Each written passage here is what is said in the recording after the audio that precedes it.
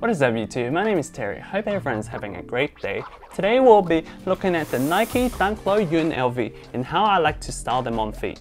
In this video, I won't be going full in depth on the dunks. If you would like to know more about the 2021 dunks, make sure to check out the video up here where I gave my honest opinions on these new release dunks. Though the video was mainly focusing on the Dunk High Vast Grey, the material and quality still applies to these.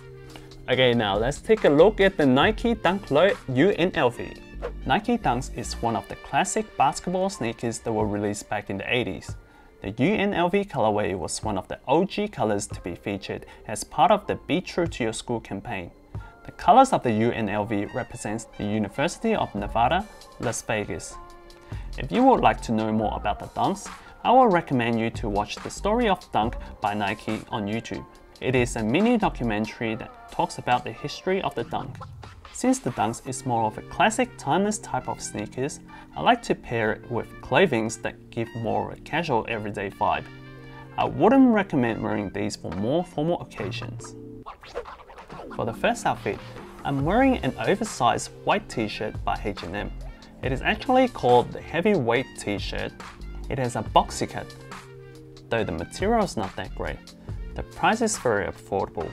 It comes around at $15 Australian dollars. For the bottom, I'm wearing a pair of regular wash jeans. If you like to add more texture to this, I recommend to put on an unbuttoned shirt as well. This gives off the guy next door vibe, makes you feel a lot more approachable. Since the shoes are already in red, I don't want to have too much bright colors on my body, otherwise it will take away the spotlights from the shoes.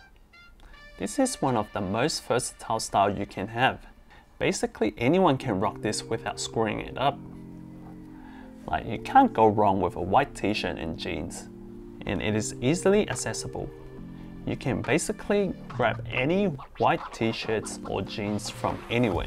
And since your outfit is very simple, the shoe really stands out from the crowd. The next outfit we have here is an oversized sweater pairing with the shorts. I mean, how can you not wear these with shorts? This look is good when you're feeling super chill or going to a friend's house. I like wearing grey on top as it matches with the shoes, but you can wear other colors too. But I suggest to go with a darker neutral tone so you don't clash with the colors. This oversized sweater is also purchased from H&M. It costs, I think it was $20 Australian dollars. Shorts you can go either sports shorts or jersey shorts. In this video, I'm wearing the jersey shorts from H&M. For the socks, I tend to wear boat socks rather than crew socks since I have short legs. Boat socks can give you an illusion that you have longer legs in my opinion. If you would like to add some accessories, I'd totally go with a hat, whether it's dad hat or fitted. It's all up to your own preference. The third outfit Last but not least, I'll be wearing the hoodie with trackies. This outfit is also very versatile as you can wear it for outdoor or sporting activities as well as normal daily casual wear. The top I'm wearing is the red champion reverse weave hoodie with the white track pants. For this outfit, I wanted to do more of a color matching to represent the team colors.